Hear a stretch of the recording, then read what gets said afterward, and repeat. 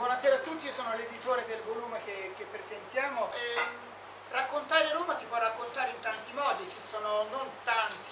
neanche tantissimi, ma migliaia, centinaia di migliaia di libri sono stati scritti su Roma eh, eh, e anche nella nostra realtà, noi siamo una casa editrice nata nel 1914 che ha nella, nella divulgazione del patrimonio storico-artistico di Roma la sua prerogativa principale. Malgrado questo, per esempio, non ci era mai capitato di raccontare Roma attraverso eh, le statue parlanti, che sono una assoluta eh, esclusiva eh, della nostra città. Ah, eh, diciamo che già hai rotto sicuramente il ghiaccio in maniera molto efficace e, e um, hai sottolineato il fatto che il libro è originale. Ecco, è un libro originale perché coniuga due cose. Da un lato è un saggio, e di solito i saggi possono essere tra virgolette un po' noiosi, dall'altro lato invece è avvincente, eh, incuriosisce ed è in certi casi addirittura divertente, quindi riuscire a coniugare queste due cose è stata sicuramente una eh, prerogativa positiva dell'autrice. Ecco, ehm, che cosa ha fatto? Lei ha preso la letteratura e la scultura, le ha collegate tra loro e eh, ha valutato come l'una e l'altra collegate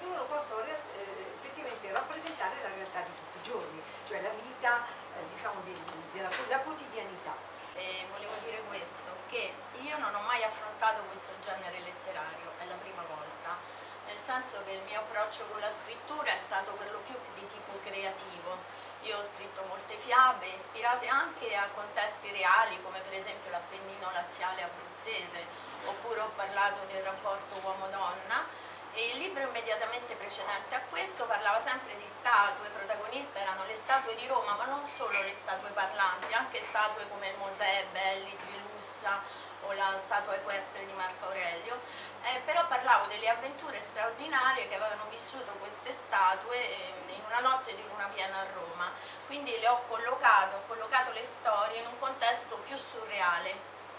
rispetto a, chiaramente a questo. E proprio in quell'occasione, durante la stesura di questo libro,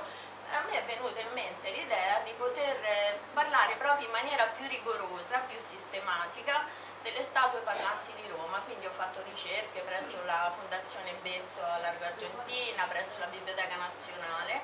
e quindi ecco, mi sono documentata e ho potuto certo. realizzare questo libro quindi è un libro che ecco perché dicevo è saggio, perché oltre a questa parte... Ci sono molti riferimenti a documenti molto antichi.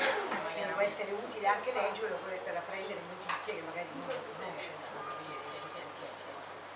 Allora, eh, nel libro sono eh, descritti in maniera molto approfondita sei statue eh, che sono considerate, dice il testo, le portavoce dei problemi della popolazione e definite come custodi indefessi e amorevoli sull'intera città, sui desideri e sui timori di ognuno dei suoi abitanti. Ecco, puoi parlarci di queste state, dirci quali sono e perché hanno questa caratteristica in realtà, perché ci, ci serve? Pasquino sta in piazza Pasquino, vicino piazza Navona, eh, ci sono state tante tesi per poter ehm, stabilire quale fosse la sua identità, è una statua molto antica, appartiene all'età ellenistica, III-IV secolo a.C., è mutila, non ha gambe, non ha braccia, insomma poi vedremo quando... Poi c'è l'abate Luigi che invece è, è, vicino alla chiesa di Sant'Andrea della Valle, e, ehm, è rivestito di una toga, indossa una toga e quindi per l'atteggiamento fiero e per la toga che indossa si è pensato potesse essere un senatore, un console, un oratore, quindi un personaggio illustre dal punto di vista politico. Poi abbiamo l'unica tra le statue femminili, tra queste statue ad essere una donna, è Madama Lucrezia, un busto alto quasi 3 metri,